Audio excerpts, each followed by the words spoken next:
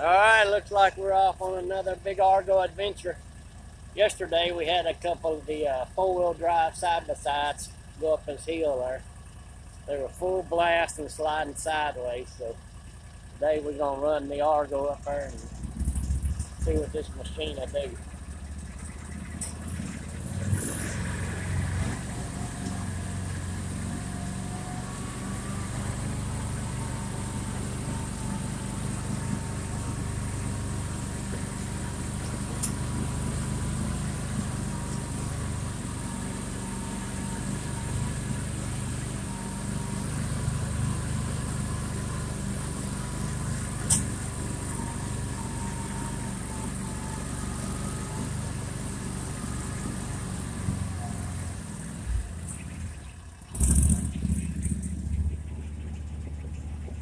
It don't even seem like it's sliding or spinning the tire.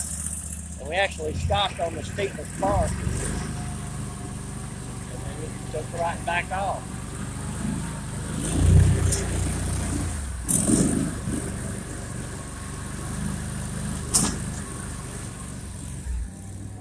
That is definitely amazing to see the tires like that.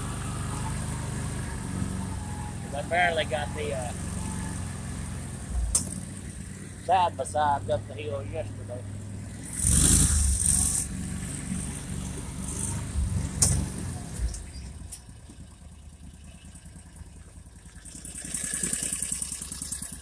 So that's definitely what the machine's made for.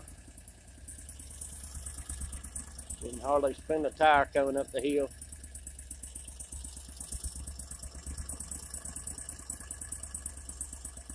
Thanks for watching. Y'all have a great day.